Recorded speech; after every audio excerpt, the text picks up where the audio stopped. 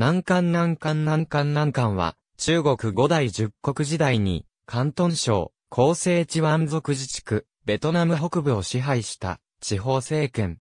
建国者の劉院の祖先は、漢王室の氏族である、北条劉氏の子孫と自称した。劉院は、河南城西の人であったが、祖父の代に、福建に移り住んで、南海交易で利益を上げて、統治の有力者となった。父の劉里県の時に、甲州に移って、高僧の乱に際して、功績を上げて、風習志士となった。なお、劉院の塩素は、アラブ系だという説がある。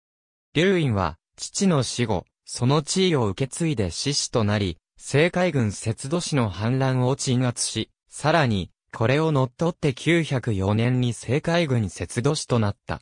その後、関東全土と後世の一部を支配し、党の滅亡とともに、自立の姿勢を強める。さらに南海貿易での利益をもとに、関東、後世に勢力を広げ、反独立勢力化した。これに対して、当時の中原勢力である公領は909年に、彼を南平王に、911年に南海王に任じた。劉院は南海王に任じられた後、ほどなくして死去した。後を継いだ弟の竜は917年に皇帝を名乗り、完全に自立した。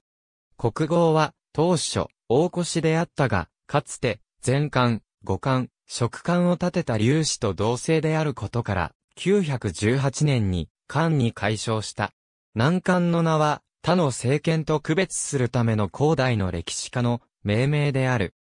竜院は、東大の中央での権力争いに敗れ、この地に祖先された官僚たちの子孫や戦乱から逃れてきた人種の政治参加を積極的に推進し、この地に比較的平穏な状態を作ることに成功する。さらに南海貿易で巨額の利益を得て、宮廷は大いに贅沢なものとした。しかし、942年の竜の死後は、継承争いにより混乱が起きる。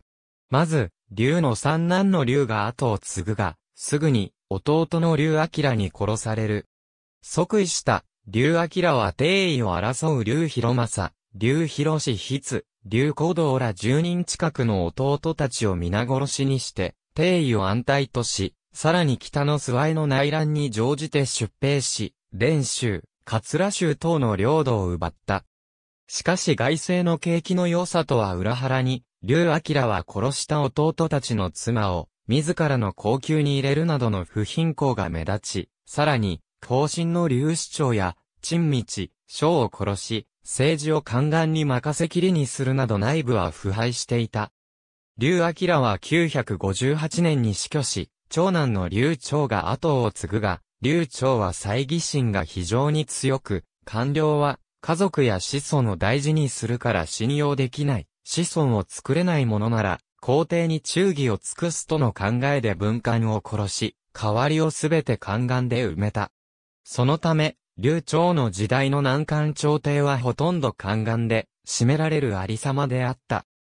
このような状態に、人心は乖離し、971年の宋の侵攻には全く抵抗し得ず、劉朝は財宝を14隻の船に積み込んで逃亡しようとしたが、侵任してきた宦官によって持ち逃げされ、宋軍の捕虜となり、その領土も宋によって平頓された。